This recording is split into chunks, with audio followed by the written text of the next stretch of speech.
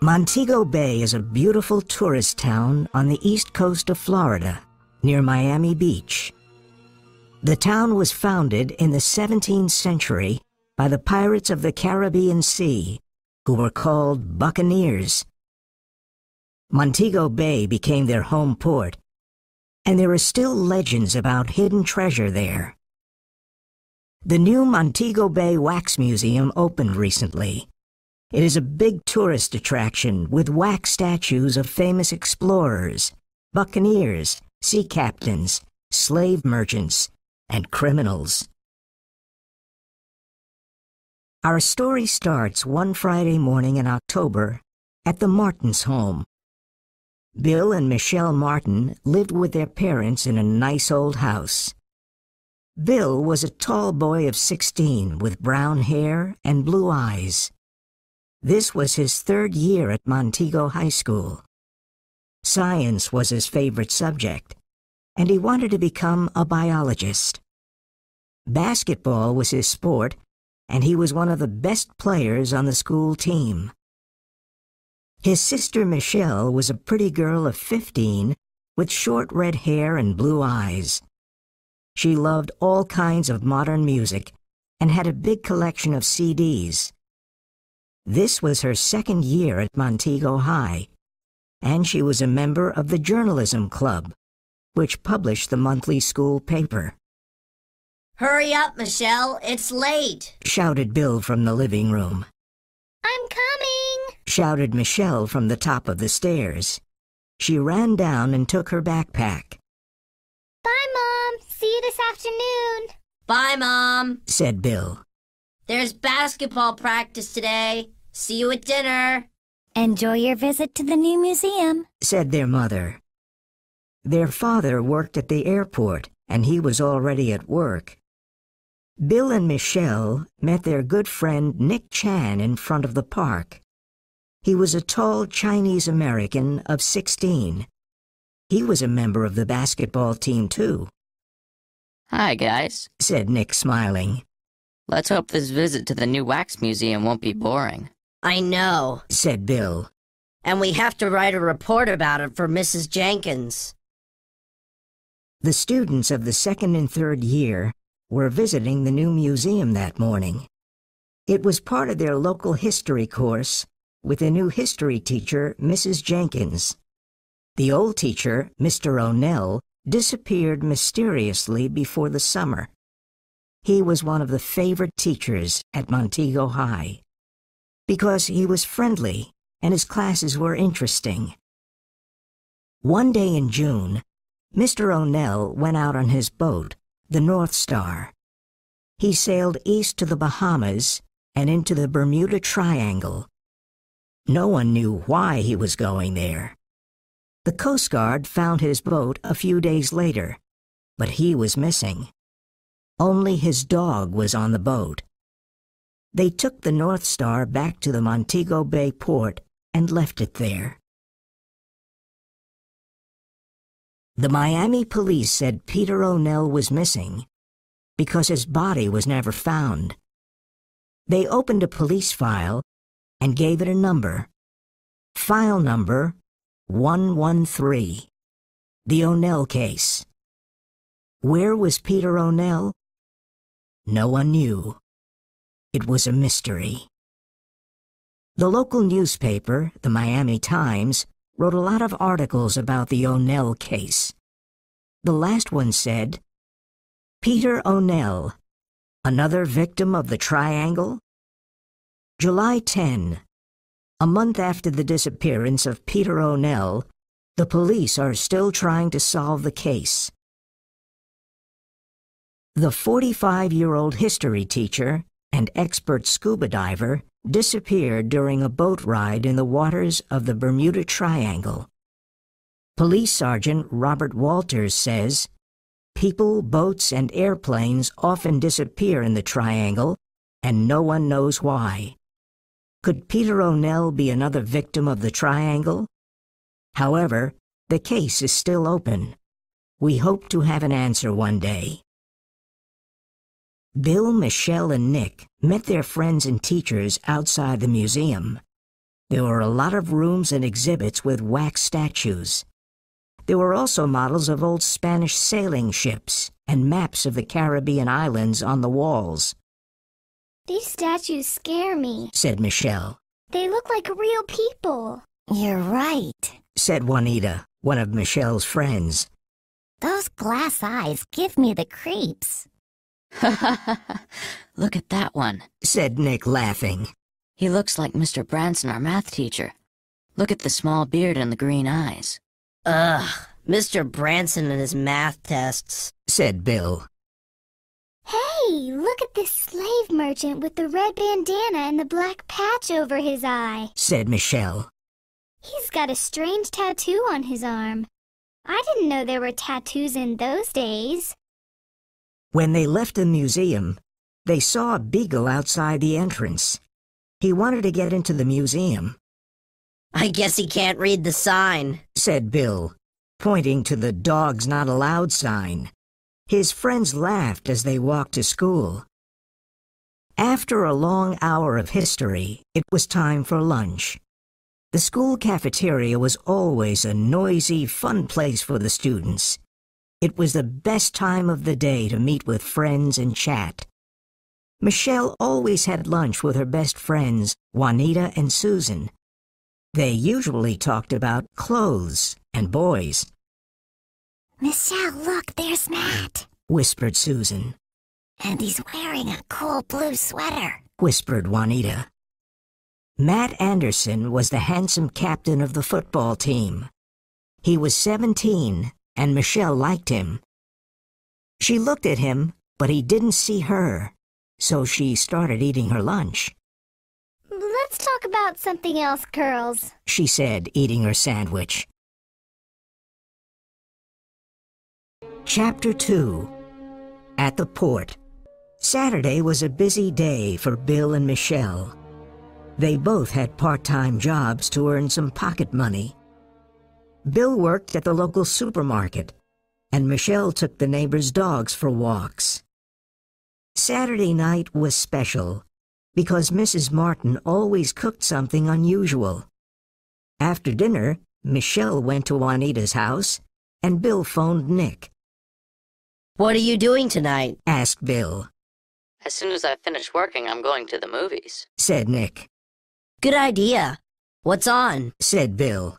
There's a science fiction movie at the Madison Theater that everybody's talking about. Fifth Dimension. We can meet at my parents' restaurant at half past eight. Okay, see you then, Nick. Nick's parents had a Chinese restaurant near the port, and he always worked there on weekends. As Bill waited for Nick at the back door of the restaurant, he saw the same beagle from the wax museum. The poor dog was sad and thin. He was probably waiting for some food. Nick came out from the back door and said, What an evening. There was a birthday dinner and we were so busy.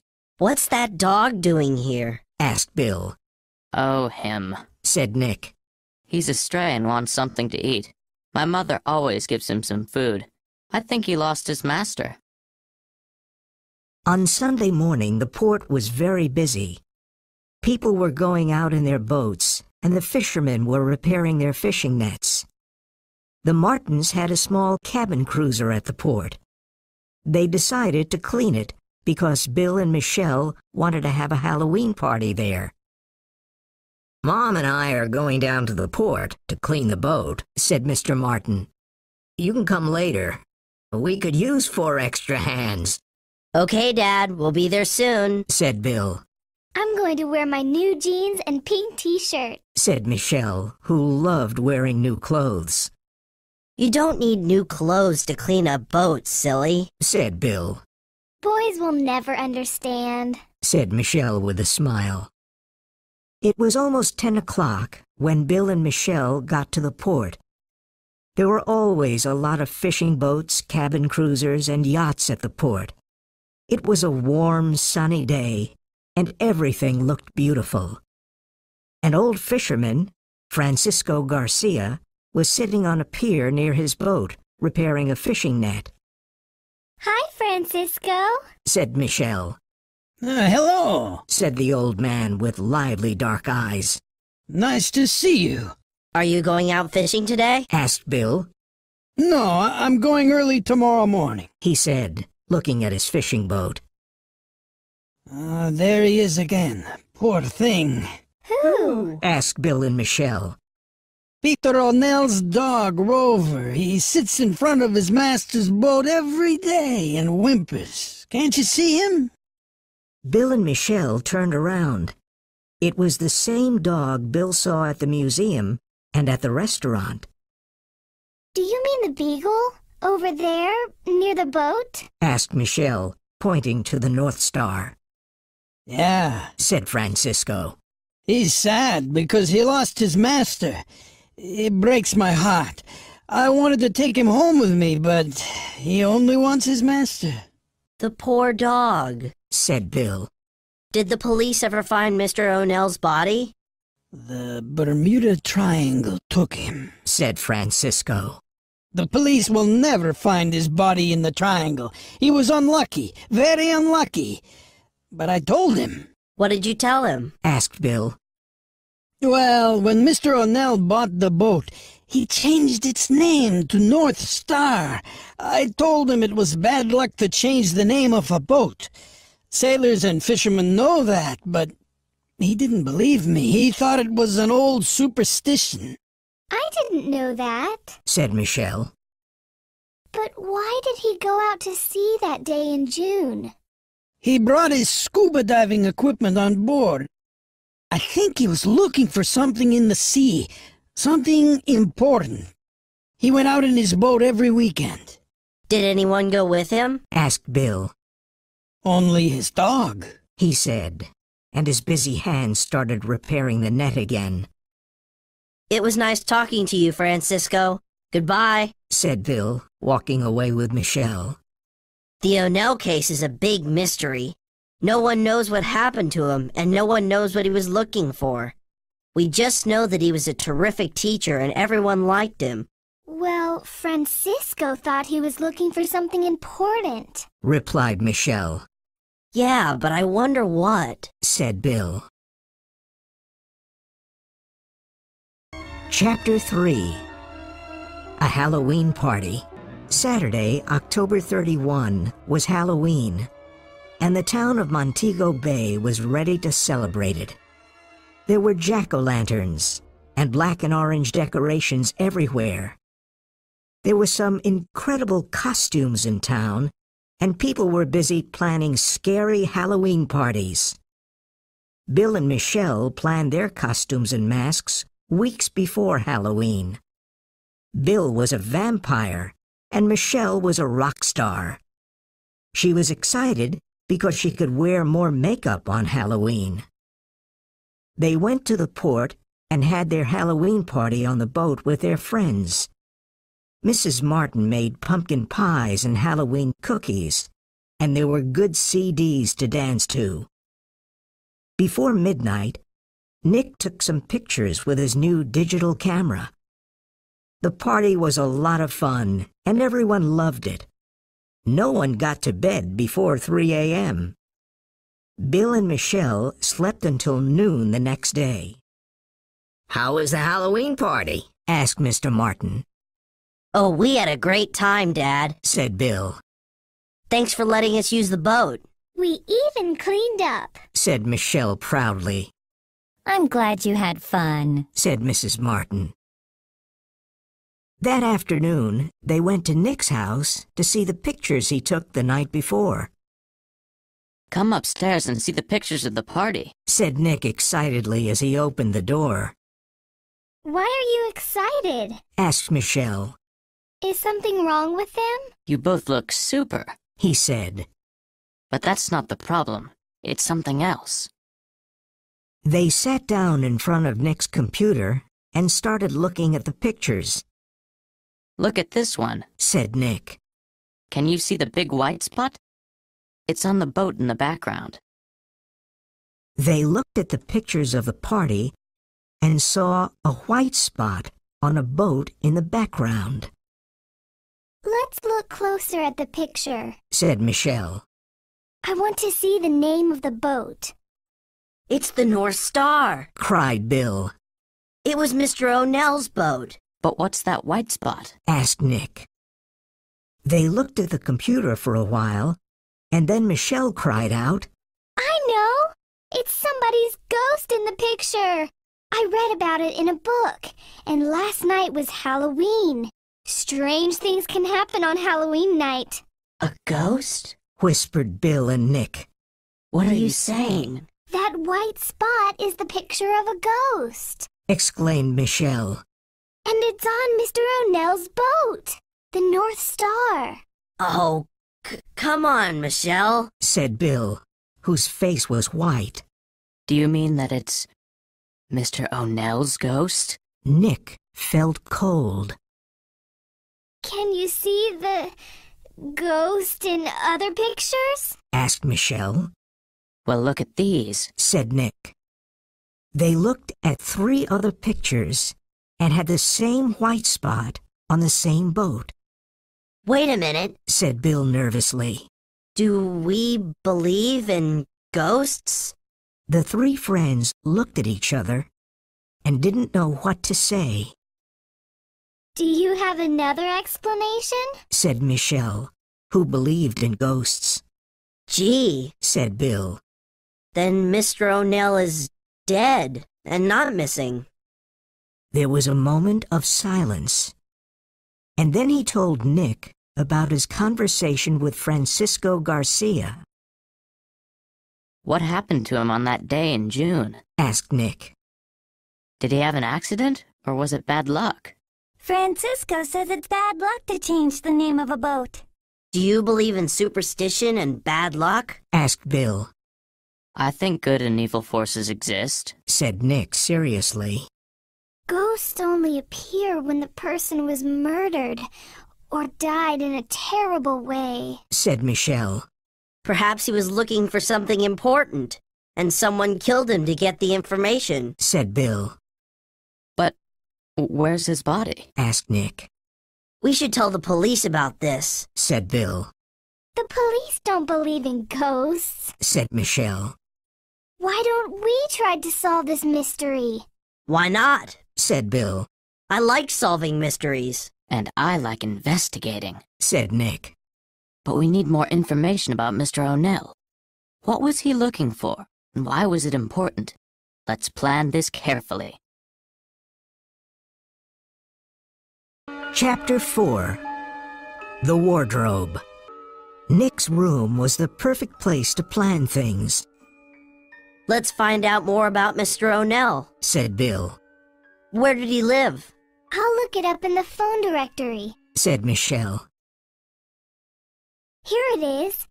His address was 1857 Stockton Street. That's behind the port. Let's try and get into his house. But I'm sure the police already went there. said Nick, Yeah, but perhaps they didn't examine everything. said Bill, Let's go there after dark with our flashlights. When? Asked Nick excitedly, How about Tuesday after dinner? said Bill. When the school bell rang at 3:30 p.m. on Tuesday afternoon, Bill, Michelle, and Nick hurried home. They did some homework and met at 7. It was a windy autumn evening. They walked to the old part of town, and Peter O'Neill's house appeared behind some tall trees. It was a white wooden house with a brown roof and a small garden. They were surprised to see his dog sitting outside the door. He recognized Nick from the restaurant and went to him, Look who's here. said Nick, smiling, Hi, Rover. What are you doing here? He's still looking for his master. said Bill, He's friendly. said Michelle, stroking him, Let's go to the back of the house and see if the door is open. said Nick. Rover followed them. The back door was locked, so they opened the kitchen window and climbed in. They stood in the dark kitchen for a moment. Everything was silent, We're in Mr. O'Neill's house. said Bill. This is weird. Let's start looking for clues. said Michelle. Where can we start? Asked Nick, Look, Rover's going to the living room. said Michelle. Let's follow him. The living room was small, and there were two armchairs near the window. There was a big color photograph of O'Neill and his dog on a small table. Michelle looked at the photograph. It was probably taken on his boat in the summer. Look, he's got a strange tattoo on his arm. It's a peace sign. said Bill. They were popular in the 1970s. Rover led them to the hall and sat down in front of a door. He barked and put his paw on the door, Let's open it. said Michelle. She was scared, but she opened the door. There were stairs that went to the dark basement, and the air was cold. Bill and Nick turned on their flashlights and slowly went down the stairs, and Michelle and Rover followed them. They looked around and saw a few boxes of books, some diving equipment, and a big wooden wardrobe. Rover went to sit in front of the old wardrobe and started barking, Why is he barking at the wardrobe? asked Nick as he stroked the dog's head. He barked again and looked at Nick with his big brown eyes. Then he began pushing the wardrobe door with his paw, Let's open it. said Nick. His heart beat fast as he turned the key and opened the door. He saw two scuba diving suits. There's nothing interesting in here. he said, closing the wardrobe. Rover barked again and pushed the door with his paw. Nick opened the wardrobe again and looked inside carefully, Could there be something behind this wardrobe? said Michelle. like in mystery novels, Michelle? Said Nick, laughing. Yes, exactly. Said Michelle. Come on, let's try and move it to one side. Okay, let's try. Said Bill. The wooden wardrobe was very heavy, but they were able to move it a bit. Rover was right. There was a small opening to a tiny room.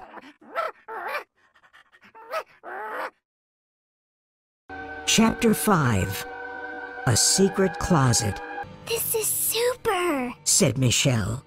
We discovered a secret room. You mean a secret closet? Said Nick, moving his flashlight around. It's very small. There were two big maps and some newspaper articles on the walls and a diary on an old chair, This is cool. said Bill.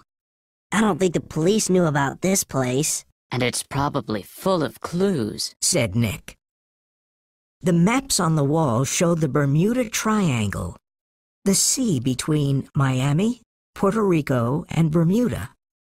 There were red pen marks on the maps. Mr. O'Neill was probably trying to find a particular spot in the Bermuda Triangle. said Nick. Hmm. Listen to this headline from the Miami Times. said Michelle. Ship with precious cargo disappears in the Bermuda Triangle. Let's see. said Bill, holding up his flashlight. The three of them started reading the newspaper article on the wall. A small ship, the Pelican, disappeared in the Bermuda Triangle last week. It was transporting ancient Roman and Greek artifacts bought in Europe by an important American museum. The artifacts are worth millions of dollars and they are now probably sitting on the bottom of the Atlantic Ocean, I think I understand. said Bill. Mr. O'Neill was probably looking for the ship in the Bermuda Triangle. That's why these two maps are marked in the same place. And that's why he went out in his boat with his diving equipment every weekend. Added Michelle. But why was he looking for them? Asked Nick. That's a good question. Said Bill. I'm sure a lot of dishonest art dealers want to find those artifacts and sell them on the black market. It's a big business. They're worth millions of dollars. But Mr. O'Neill wasn't dishonest. I'm sure he was looking for them for another reason. Michelle started looking through the diary on the chair. Hey, look! She said, On June 7th, Mr. O'Neill wrote this note in his diary. Call Professor Ortega at Florida Historical Museum. That's the day before he disappeared. She paused for a moment and said, Perhaps Mr. O'Neill was working for the Florida Historical Museum, and that's why he was looking for the ship. That's a good explanation. He was an expert scuba diver. said Bill. Is there anything else in that diary? Michelle looked through the pages. On May 31st, he wrote, Blackbeard still following me at sea. Who's Blackbeard? Well, he was a pirate centuries ago. I don't think it's him. said Nick. But Blackbeard could be the name of a boat. The boat that was following him. Perhaps the people on that boat were looking for the artifacts too. Let's go to the port and see if the Blackbeard is there. said Bill. All right, said Nick. but let's go now. It's late. And it's getting very hot in this closet. said Michelle. Suddenly, there was a loud noise upstairs, What's that? cried Michelle, We're not alone here. said Nick. Someone or something is in the house. They stood still for a minute, Well, Michelle, whispered Nick. you're the ghost expert. Whose ghost is upstairs? Oh, stop it. whispered Michelle, who wanted to get out of there. They got out of the secret closet and quickly pushed the wardrobe against the wall. They went upstairs silently and climbed out of the small kitchen window, followed by Rover. When they were outside the house, they heard another loud noise and ran away.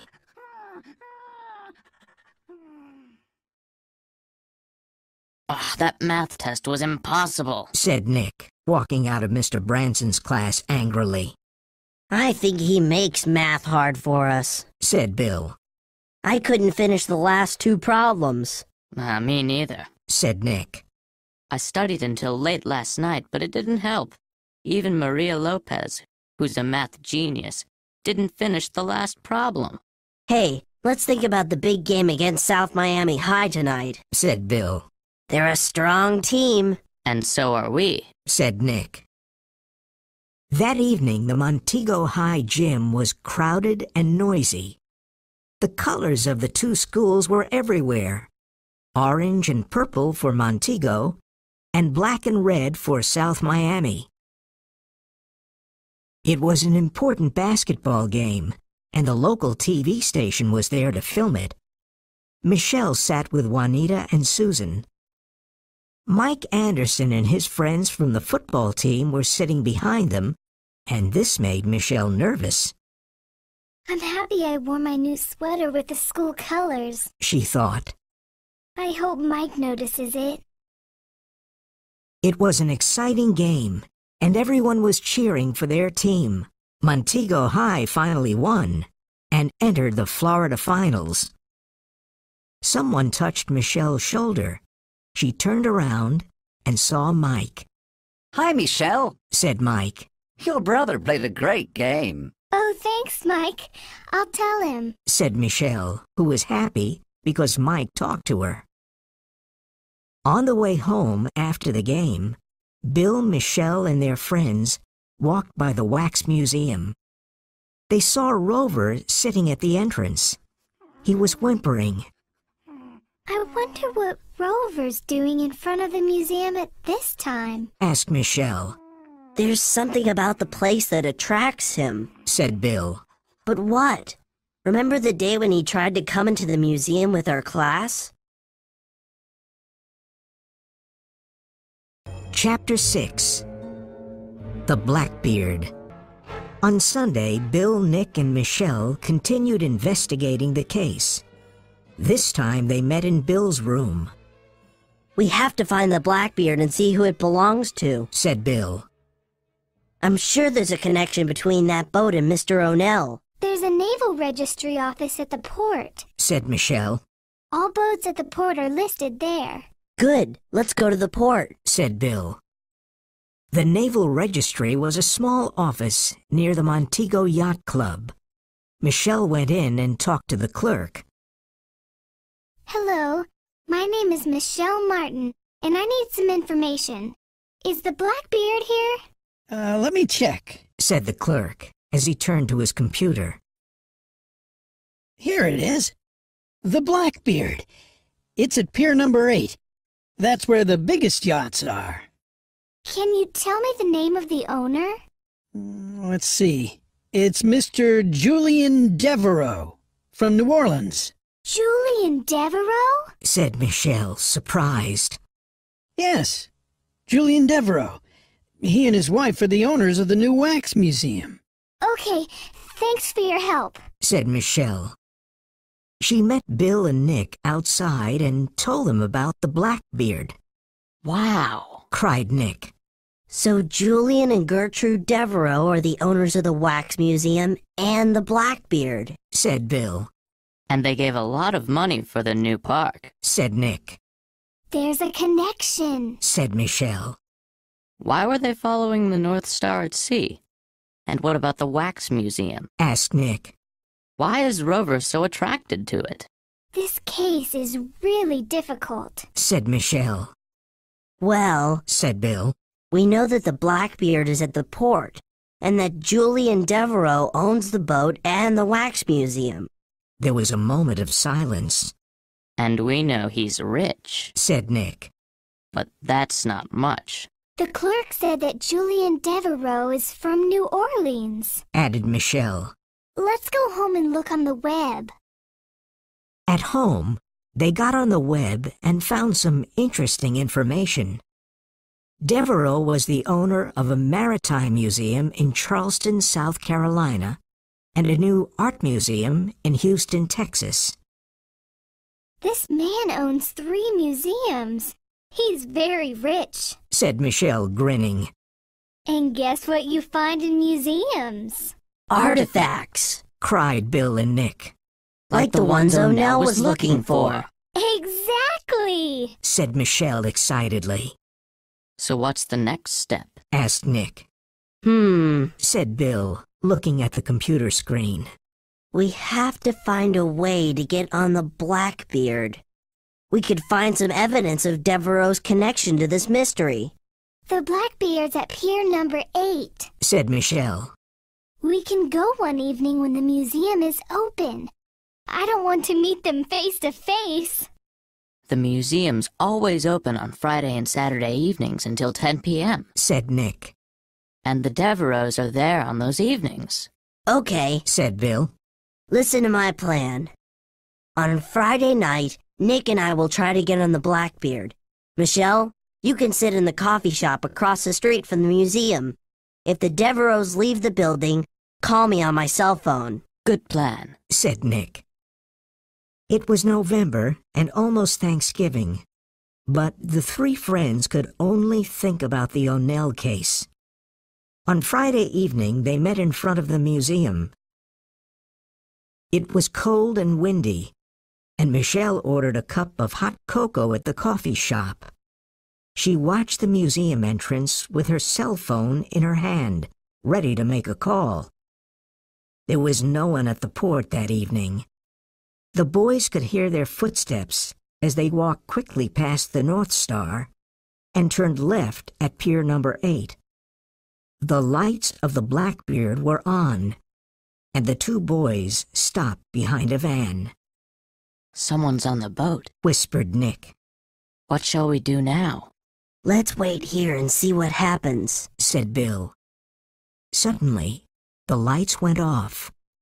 Julian Devereaux got off the yacht and into his sports car and drove away, Whew. said Bill. They waited a few minutes and then got on the yacht. The glass door was closed but not locked, so it was easy to get in, He didn't lock it. He's probably coming back soon. said Nick. Let's hurry.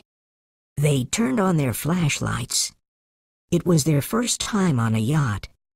Everything was beautiful and expensive. They started looking everywhere drawers, cupboards, bookshelves, but they couldn't find anything. Bill took a painting off the wall and turned it around, but he found nothing. He did the same with another painting, and this time there was an envelope on the back. Nick, look at this. Bill opened the envelope. Inside there was a map of the Florida coast and the Bermuda Triangle with some red pencil marks. It was almost identical to the maps in Mr. O'Nell's house.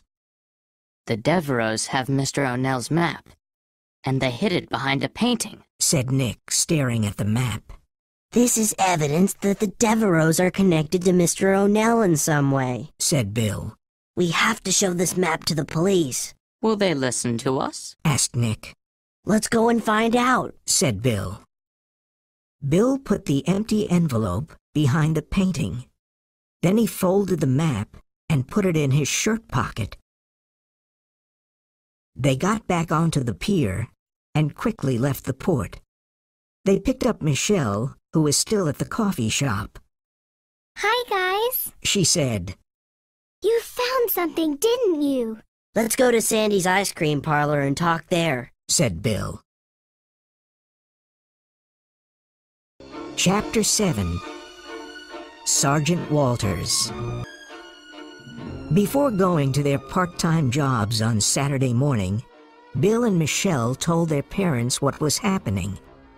Mr. and Mrs. Martin were very surprised, Why didn't you tell us about this before? said Mrs. Martin, who was worried. You kids are amazing, said Mr. Martin. No one has solved this mystery, but perhaps you can. I remember Mr. O'Nell. He was a very nice man. I'm glad you're going to the police today. It's the right thing to do. That afternoon, the three friends went to the police station and spoke to a police officer, Good morning. I'm Sergeant Walters. said a tall man with friendly eyes, What can I do for you? We want to report something. said Bill, Come into my office and sit down. said Sergeant Walters.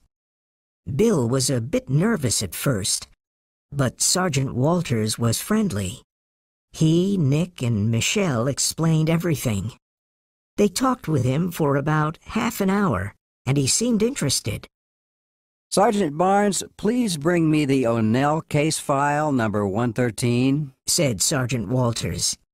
He looked through several papers in the file and then wrote something down. You three are good detectives. He said, But do you know that it is against the law to enter private property, like Mr. O'Nell's home and the Blackbeard? Bill and Nick were embarrassed, but Michelle was not. We wanted to help the police solve the case. She said seriously.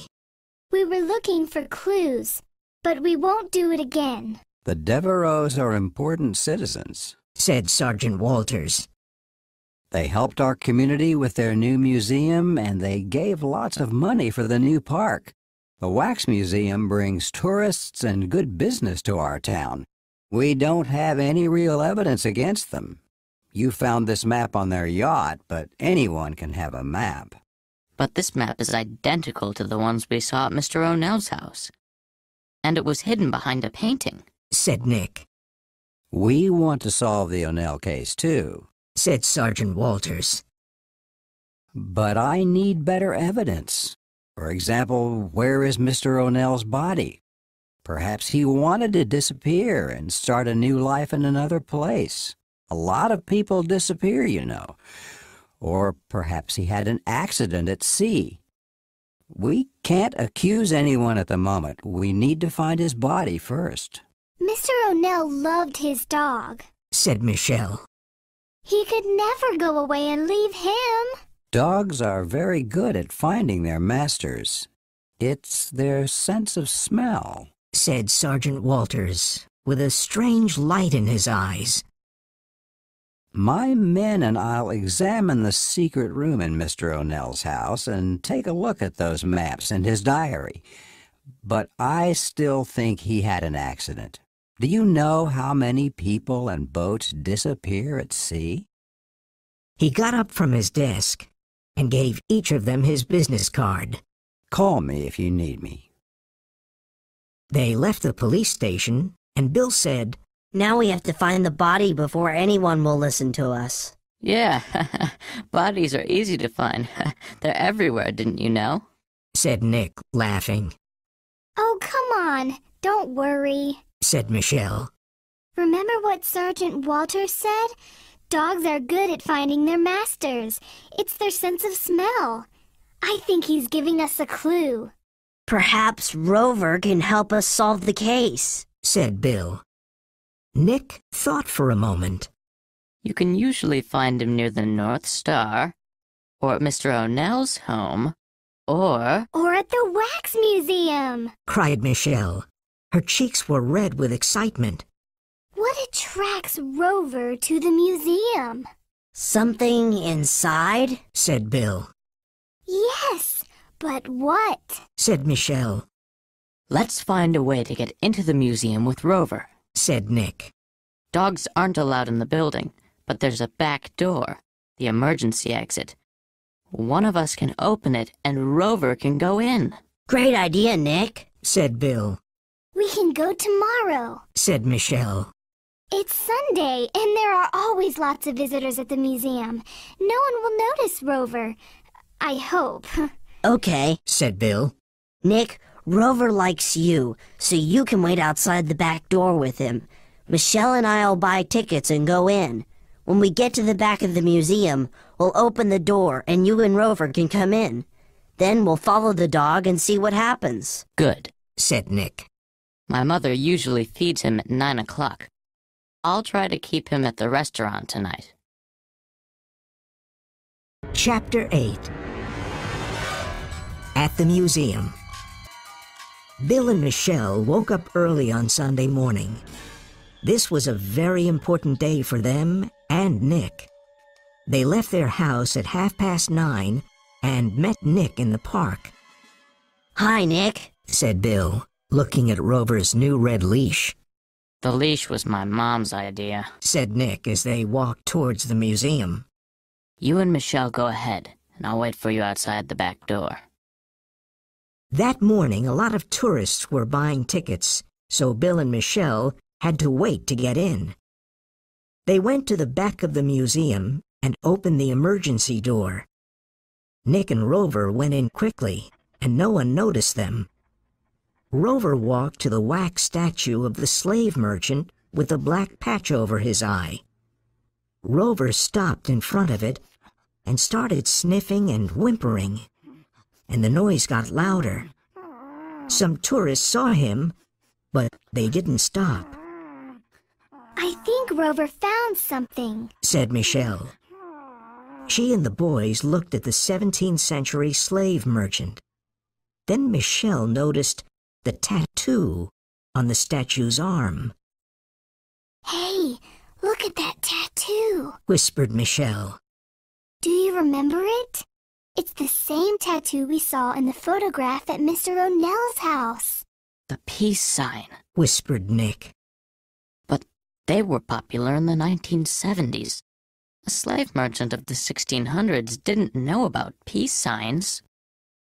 Rover started barking, He's found something. said Bill, as the barking got louder and the dog became more excited, Could that be his master? said Nick, his voice trembling, But it's a wax statue. said Michelle weakly, Yeah, but look at the tattoo. said Bill.